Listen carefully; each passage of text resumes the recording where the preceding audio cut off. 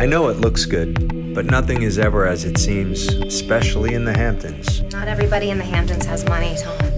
It's mostly hardworking families. Every day is made up of hundreds of choices. Some choices are more important than others, but they will affect our lives whether we like it or not. And I can't help wondering is it God's will? I don't believe in God. Or is it mine? Because some strange things have been happening.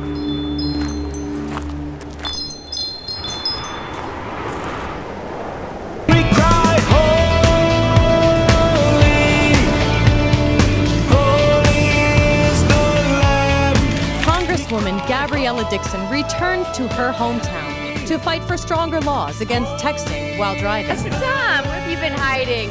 More pastors look like that. Maybe I'd go to church more. I would like to thank everyone for coming out tonight. Come on! It's the last week of summer. We have to do something. So? How was last night? Enough, Mom. You're always up in my business. You never even asked me if this was something I wanted. That's enough. This is cruel. You're scaring them away. Even your boy Jesus lost it, right? Trashed a couple of tables.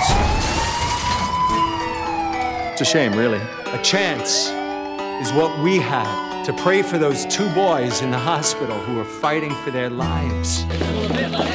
Congresswoman, how long will you be in town? For as long as it takes. The police are still doing their investigation. We're pulling for you guys. We are. David and Scott, get well, get well soon. To you and your families, our hearts are with you.